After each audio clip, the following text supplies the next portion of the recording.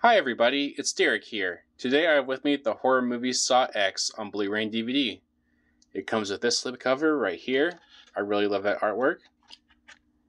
Here's the spine. Here is the back. You can pause to read the description if you'd like. Uh, all the cast in the background in the X has a lot of special features included, like an audio commentary, a making of documentary, makeup departments, deleted scenes, and a theatrical trailer. It's rated R. There is no unrated cut, as far as I know. And it comes with this Blu ray case right here. It's pretty much the same all around. And open it up. It comes with a slip inside with a digital copy on it. And you have the DVD version on the left and the Blu ray disc on the right.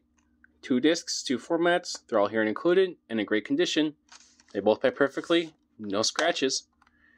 This is arguably one of my favorite films in the Saw franchise. It is very well made, definitely has a good story. It is a prequel between the first and second films. The traps are very in- ingenious. The acting is excellent. I love the ending. I love everything about this movie. I'm sure you'll like it too if you're a fan of this franchise. Check it out.